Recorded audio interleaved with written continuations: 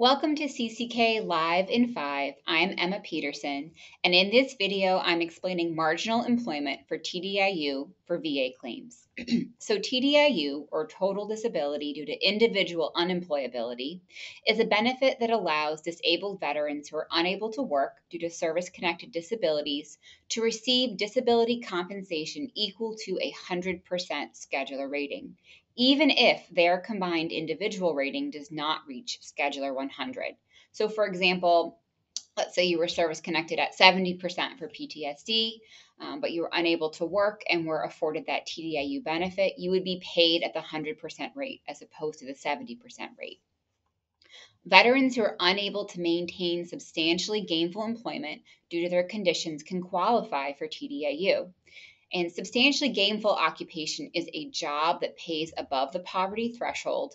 And under some certain circumstances, veterans may qualify even if their job pays above this income threshold. Veterans can qualify for TDIU on a schedular basis or an extra schedular basis. Um, meaning, if it's schedular, they have a uh, single rating at 60% or higher, or if they're combined at 70% with at least one rating at 40. Um, everyone else is otherwise considered extra schedular for TDIU purposes. All right, so now drilling down into marginal employment. Um, two situations exist in which veterans may be employed and still qualify for individual unemployability benefits um, protected work environments and marginal employment. So, marginal employment refers to veterans who are currently working but earning below the federal poverty threshold. So, for example, your disability requires you to work less than half your usual hours, or you receive less than one half the usual wages of other people engaged in the same profession. Um, perhaps you work in a sheltered workshop, or you receive extraordinary accommodations from your employer. Uh, maybe you work for your family or for a friend who basically just has you on the payroll, um, but you're not earning substantially gainful earnings.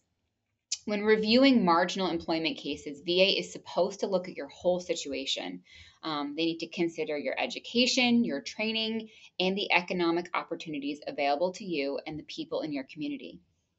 To apply for total disability based on individual unemployability benefits, veterans should complete the VA Form 218940 Veterans Application based on unemployability and submit it to VA. Um, it should be done to the best of your ability. So it's going to ask you for your education, your vocational history, when you last worked, um, what your occupation was, um, and the highest earnings that you made. So make sure to gather that information.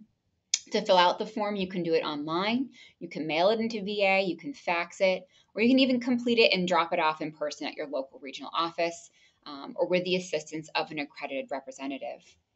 For more information on TDIU, please be sure to check out our blog and watch our longer form YouTube videos. And be sure to subscribe to our channel. Thanks for tuning in.